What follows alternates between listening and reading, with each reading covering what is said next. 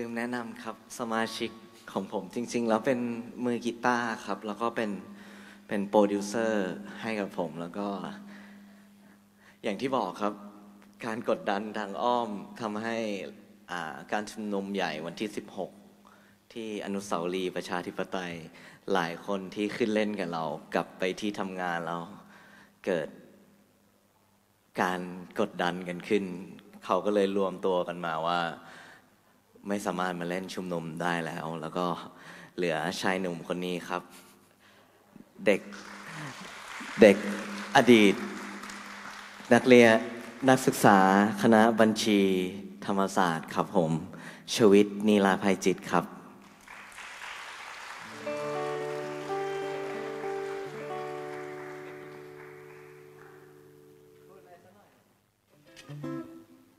ก็ รู้สึกดีนะฮะ ได้กลับมาศาสตร์อีกครั้งหนึ่งนะฮะ ก็อะฮัลโหลฮัลโหลอ๋อ ก็ ตอนที่ผมเข้ามาปีหนึ่งนะฮะ ก็ ก็ได้ได้มา ตอนแรกผม ผมมีความสนใจเรื่องแบบประวัติศาสตร์การเมืองอะไรอะไรประมาณหนึ่ง ตอนแบบมัธยมก็แบบ ได้อ่านหนังสือหนังเอ้ยหนังสือนู้นนี้บ้างอะไรเงี้ยก็แบบเริ่มมีความสงสัยเกี่ยวกับสิ่งที่เราได้แบบเคยเรียนมาทั้งหมดตอนทั้งประถมทั้งมัธยม แล้วพอพอได้ขึ้นเอ้ยพอได้เข้าธรรมศาสตร์ ก็ก็ได้เริ่มเรียนรู้หลาย ๆ เหตุการณ์ที่เราไม่เคยรู้ได้ดูฟุตเทจวิดีโอ บางอันที่เราไม่เคยดู แล้วมันก็ยิ่งทำให้เรา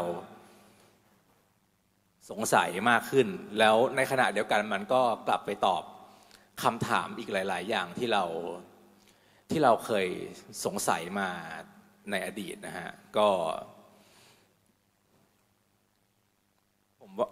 ผมว่าไอไอความรู้เหล่านี้แหละ ที่ที่มันจะทำให้คนที่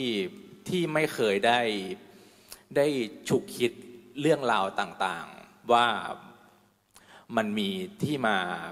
เป็นมาอยังไง หรือว่าคนที่แบบเชื่อแต่แค่สิ่งที่ระบบมันได้ป้อนเราเข้ามาเนี่ยได้ให้ให้เขาได้ได้กลับไปคิดได้กลับไปสงสัย เราเราอย่าไปจงเกลียดจงชังคนที่เขาไม่ได้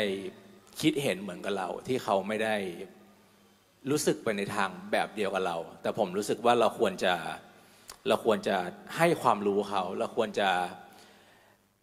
educate เขาให้ได้มากที่สุด โดยที่ไม่ต้องบอกว่าอะไรดีอะไรไม่ดีอะไรถูกอะไรไม่ถูก แต่ว่าให้เขาได้รับรู้ถึงข้อมูลอีกหลาย ๆ ด้าน แล้วผมคิดว่าเดี๋ยวเขาก็จะ คิดได้เองว่าสังคมที่เขาอยากจะให้มันเป็นสังคมที่อยากที่เขาอยากจะอยู่เนี่ยมันเป็นยังไง แล้วถึงวันหนึ่งเนี่ยผมเชื่อว่าเมื่อเมื่อเขารู้สึกได้แล้วว่าเขาอยากจะเปลี่ยนแปลงหรือว่าเขาอยากจะทำอะไรให้มันแบบไม่ไม่ไม่เหมือนเดิมกับที่มันเป็นอยู่ณปัจจุบันเนี้ย เดี๋ยวสักวันหนึ่ง เดี๋ยวเขาจะลุกขึ้นมาพูดเองไม่มากก็น้อย สักวันใดวันหนึ่งนะฮะ ซึ่งเราก็เห็นแล้วจากพี่น้องหลาย ๆ คนไม่ว่าจะเป็นในเจนนี้ในเจนก่อนหน้า 10 ปีที่แล้ว 20 ปีที่แล้ว 40 ปีที่แล้ว มันมีคนคิดแล้วมันมีคนพูดถึงการเปลี่ยนแปลงไปสู่สังคมที่ดีขึ้น ตลอดเวลา ซึ่งในขณะเดียวกัน คนที่ไม่ได้มีความคิดเห็นแบบเรา เขาก็เขาก็มีสังคมในอุดมคติของเขาแบบเดียวกัน ซึ่งผมมองว่ามันก็ไม่ใช่เรื่องผิด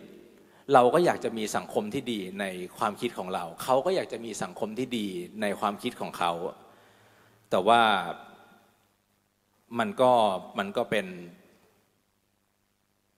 มัน คือผมรู้สึกว่ามันก็จะนำไปสู่